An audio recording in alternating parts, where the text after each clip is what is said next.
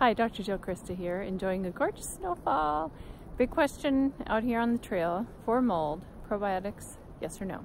Answer, yes, with a little asterisk.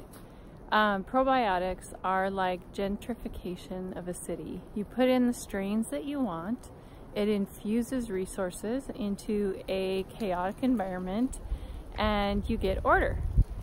And the problem, the asterisk is, if you do them too much, too long, then you get the problem of gentrification, which is lack of diversity.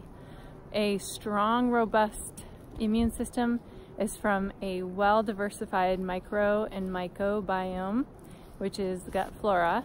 So probiotics, yes, heavy at the beginning, lighter at the end, and then just pulse in or use fermented foods is our best way to get um, our micro and mycobiome remaining healthy and diversified. Also, a little asterisk, don't use Saccharomyces boulardii if you are mold sensitive, and I'll talk about that in another blog, so if anyone's interested, catch me there. Probiotics for mold? Yes.